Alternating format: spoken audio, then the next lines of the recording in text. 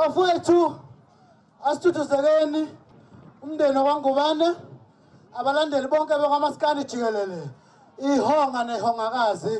Bafowethu nabaculi bonke bakamasikandi nendlunkulu yonke umjikijelwa lapha afunda khona ingoma.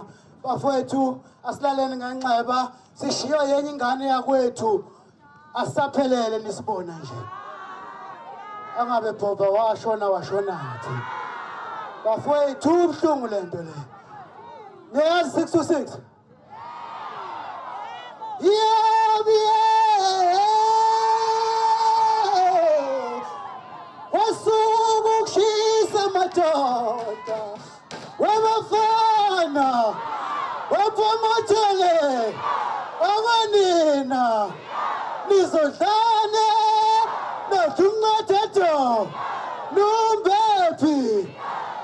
Mimi ngagogo ugogo thini osishaye enduka khele eyabhonyitsha izikhale ithi e injalo ke mina.